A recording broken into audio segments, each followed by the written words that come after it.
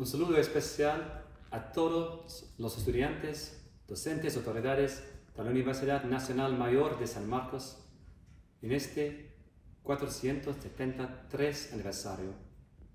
Y un saludo especial a la rectora Gerard Ramón, la primera mujer que asumió el cargo máximo de la universidad, una universidad emblemática en la historia del Perú, que ha abierto el potencial de tantas personas increíbles, incluyendo César Vallejo, Blanca Varela, Alcides Carrión y muchos otros. Una vez más, un gran abrazo en este momento tan especial de la Embajada Británica y de la Reino.